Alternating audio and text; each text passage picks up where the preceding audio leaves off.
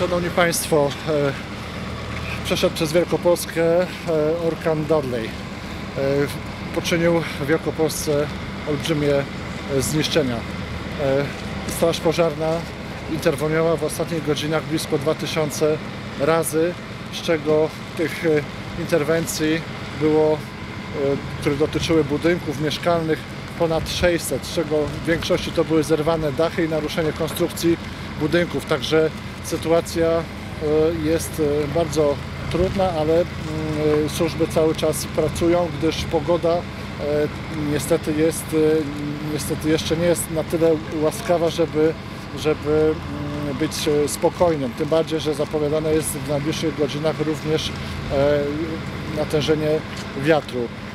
Szczególnie ucierpiały powiaty, powiat pleszewski, powiat kaliski, powiat turecki. E, Jesteśmy dzisiaj ta- tutaj w Dobrzycy. E, Poprzez e, ulicę e, Krótką Czarneckiego przeszła trąba powietrzna e, oraz pobliską Sośnicę. E, Zostało zniszczonych e, ogółem ponad 50 budynków. E, Zostały zerwane dachy, e, e, naruszone konstrukcji e, budynków e, mieszkalnych.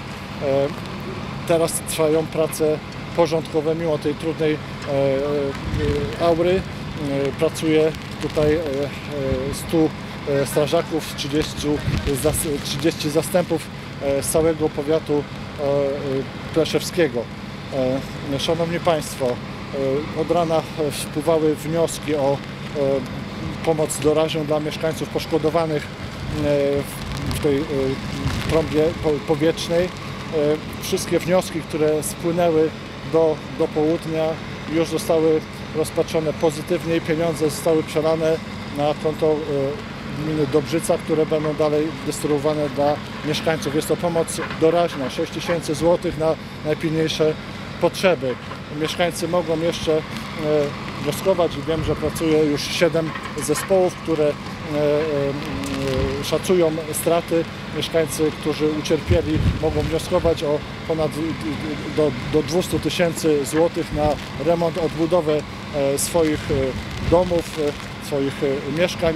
Natomiast e, w przypadku budynków gospodarczych mogą wnioskować do 100 tysięcy złotych. No, i to jest to pomoc z budżetu e, państwa. E, Szanowni Państwo, e, bardzo dziękuję e, Państwowej Straży Pożarnej, bardzo dziękuję e, Panu Staroście, Panu Burmistrzowi za, za naprawdę wielkie zaangażowanie, tak żeby e, jak te skutki e, były jak najmniej dotkliwe dla mieszkańców. To cud, że tu w Dobrzycy nikt nie zginął. W skali całej Wielkopolski jest jedna osoba poszkodowana, to w Ostrowie, to meldunek sprzed dosłownie pół godziny e, e, drzewo e, przewróciło się na mieszkańca Ostrowa, ale jest tylko na szczęście po- poszkodowany.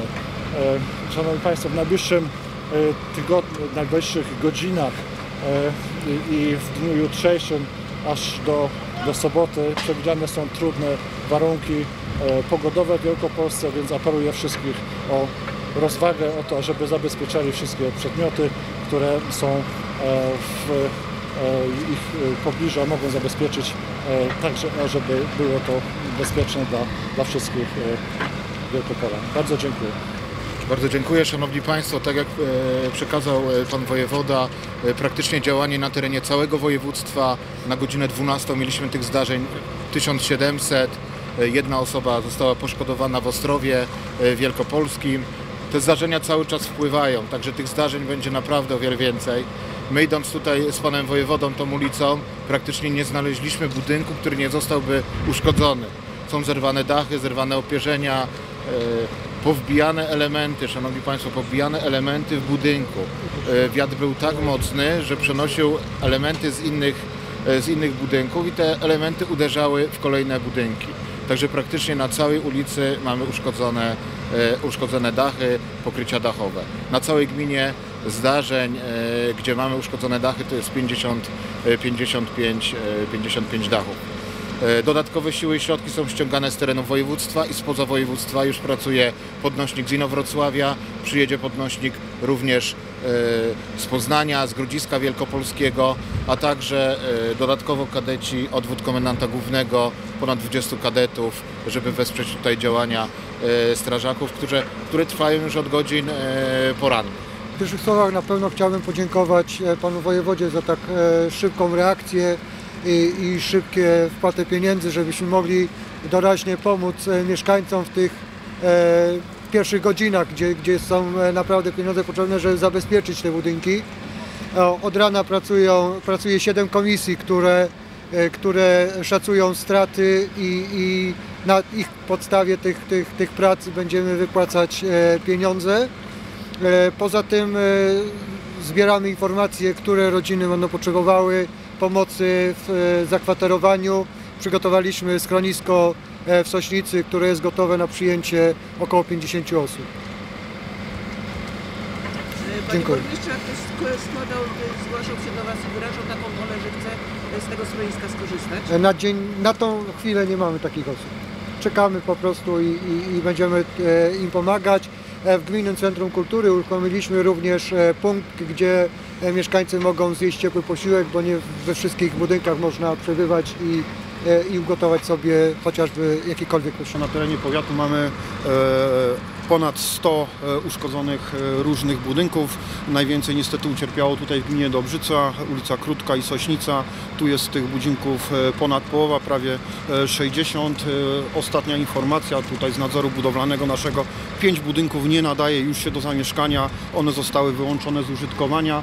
Tam nie mogą przebywać ludzi. Tych ludzi będziemy musieli gdzieś umieścić. Na chwilę obecną jesteśmy na to przygotowani. Te, takiej ilości ludzi możemy pomóc. Mamy zabezpieczone posiłki, noclegi, także e, w tej chwili e, sytuacja jest opanowana. Ściągamy e, pomoc także z Poznania, nowe plandeki, nowe zabezpieczenia, bo to co mieliśmy, żeśmy praktycznie wszystko wydali mieszkańcom, strażakom, pracują w całym powiecie.